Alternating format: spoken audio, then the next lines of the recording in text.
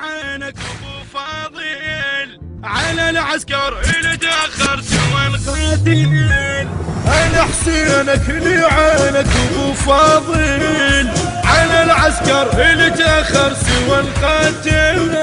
أخي عباس الهاي الناس أحط فاصل وبالميدان أقص لساني اللي جاده اليوم الجيش عقص راسه.